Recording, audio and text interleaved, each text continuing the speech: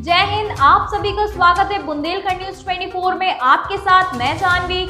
आइए चलते हैं झांसी की कुछ मुख्य खबरों की ओर।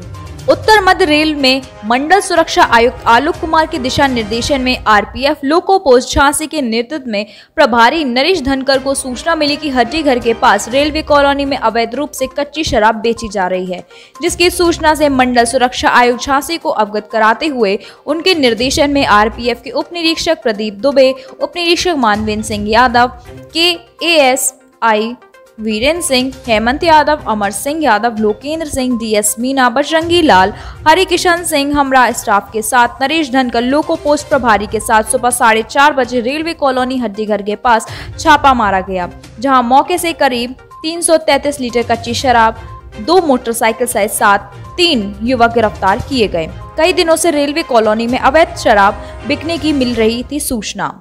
मंडल सुरक्षा आयोग द्वारा की जा रही थी निगरानी। मंडल सुरक्षा आयोग का कहना है, उक्त घटना को बहुत गंभीर लिया जा रहा है।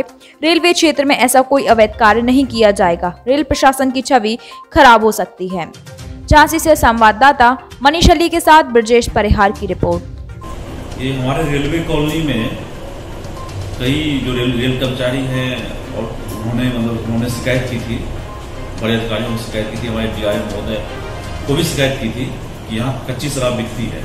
इस पर संज्ञान लेते हुए हम लोगों ने अपनी डिटेक्टिव की टीम लगाई थी और उन्होंने तीन, ये तीन दिन पहले एक महिला एक महिला को पच्चीस लीटर शराब के साथ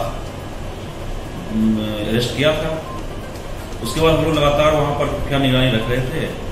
और आज करीब आज रात में चार साढ़े चार बजे करीब ये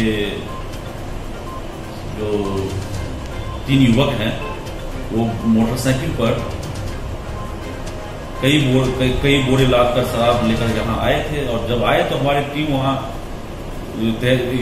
टीम सतर्क हो गई और हम लोग और बाकी हमारी जो क्राइम टीम थी तो पहले से तैयार थी और उन्होंने उन्हें मौके पर दबोच लिया।